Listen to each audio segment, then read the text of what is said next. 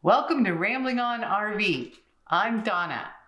This week, I thought we'd do a little something I'd like to call Donuts with Donna.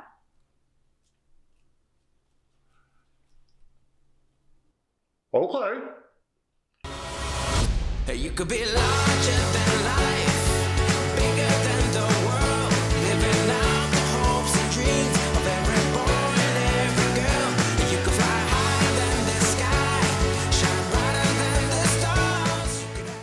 Okay, so today we're going to show you a really cool hack for you to mount your uh, WeBoost. We have we use the WeBoost for our cell service. It boosts our cell phones, and we use our cell phones or our iPad as a hotspot. So it's great for streaming. We love to stream video. We watch a lot of YouTube, as you can imagine. We also watch a lot of uh, Netflix and Amazon Prime. So it's a very inexpensive alternative for you to mount your WeBoost antenna or anything that you need to raise, except do not try to put flagpoles on your PVC pipe because we had a really bad experience and I'll talk to you about that someday when I want to feel low self-esteem. So here's the thing. We took some PVC pipe, and by the way, we got this hack from somebody else, and they got it probably from somebody else. We took some one inch Schedule 40 PVC pipe, and we have two little sections. So we have two sections, one long section, one short section, so that would fit in the bed of the truck without any hassles. That's the only reason we did that. But we put a coupler right here on the end, and this section goes into the coupler, and it goes in right here like this. And that's it. We just sort of wedge it in there. It does. You don't need to. Clearly, you don't want to glue it. And then on this end, we used a drain flange, and this drain flange setup that we have here will allow it will it will cradle the antenna for us. So uh, that's kind of the setup. It's very simple and very inexpensive. Come with me and I'll show you how we mount it on the camper. Okay, so we're at the back of the camper. This is the outside WeBoost antenna that will actually go on this apparatus that I just showed you that we created. And the way we do it is um, we're all put together here. So what we'll do is we'll run our coaxial down this pipe.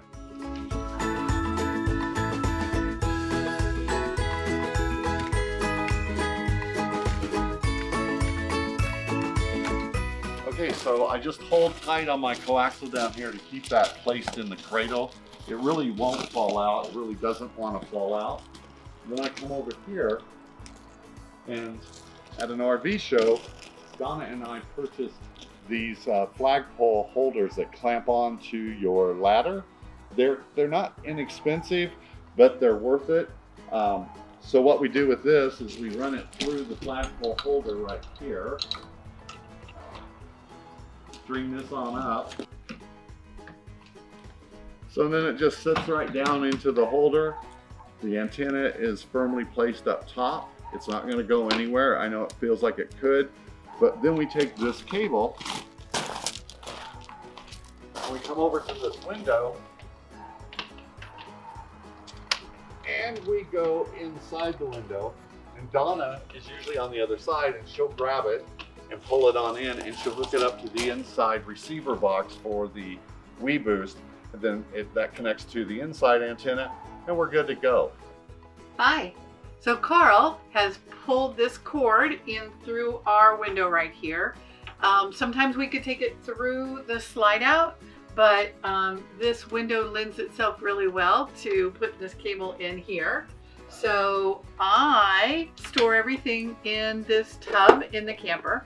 And this is where I keep everything else that goes inside. This is the unit that everything plugs into. So this I've set up to go on the wall right here. We've got two command strips right here and they're the Velcro ones. And so all I have to do is stick this to the wall and then the indoor antenna, because there's an outdoor antenna and an indoor antenna. This one remains next to the laptop. We usually set the laptop up here or if you have a cell phone and you're using it as your hotspot, you just want to place the indoor antenna as close to that as possible. And then I put this little shelf here. I put all my cords and everything in there and try to keep it uh, you know, just as neat as we possibly can.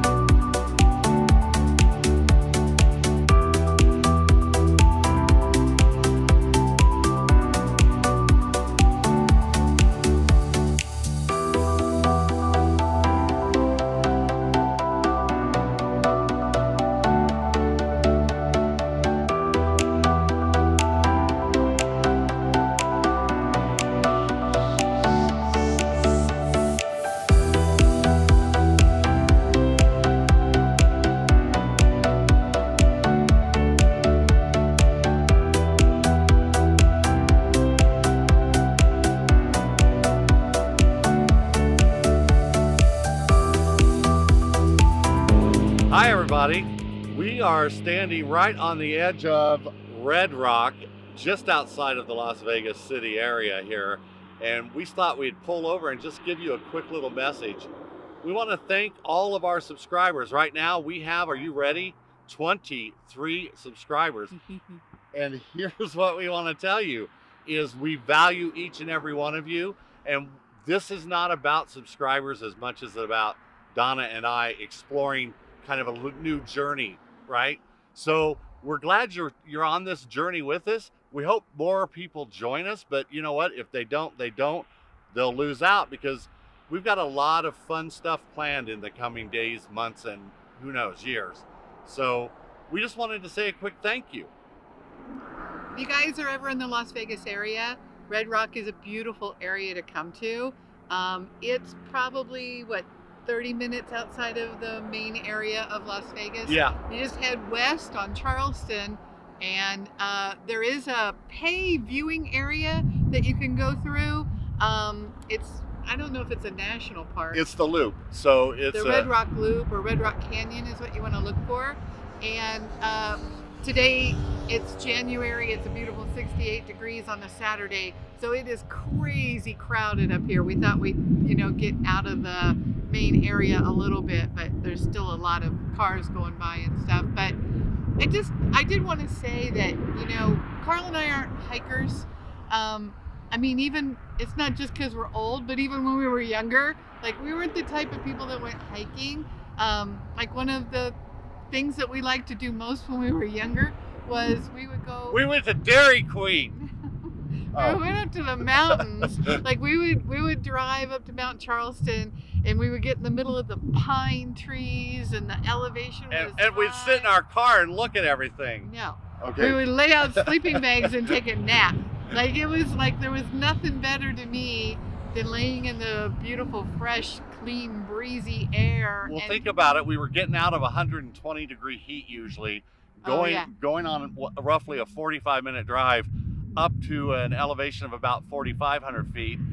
The Yeah. the air was crisp and fresh, and the temperature in the daytime was what about 75? Yeah, Yeah. tops. I mean, it's one of the things we love most about living out here. I mean, the palm trees and the mountains and all that stuff is beautiful. But for us, I mean, you're 30 minutes to water skiing and Lake Mead and all that stuff, and you're another 30 minutes the other direction to snow skiing in the mountains. And it's a 24 hour town. So for us, Las Vegas has always been just there's always something to do and we don't we don't even like to play tourists like like we don't like to go down i mean unless there's people in town we never go downtown. No, we watch TV. but it's just even like i said when we were younger hiking wasn't really our thing.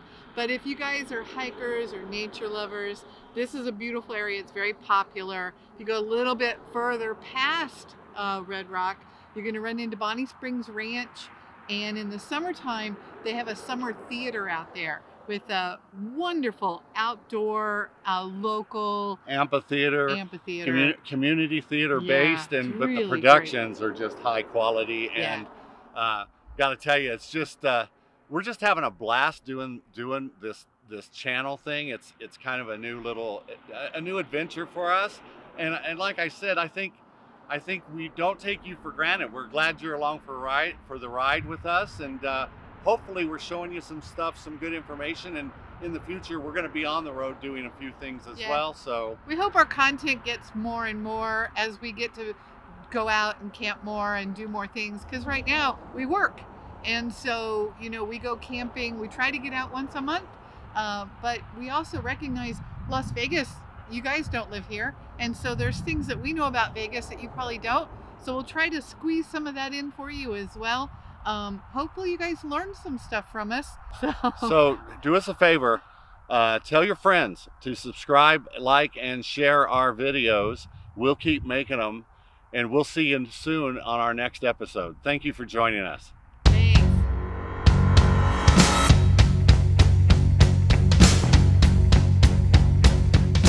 Hit that little bell to get notified when the next video comes up and just get out there It's right before your eyes.